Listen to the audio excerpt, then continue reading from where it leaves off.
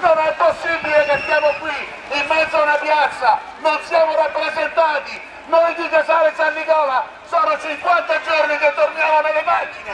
Non siamo più padroni neanche a casa! Vogliono aprirci un centro profughi nelle nostre case! Non abbiamo più diritti perché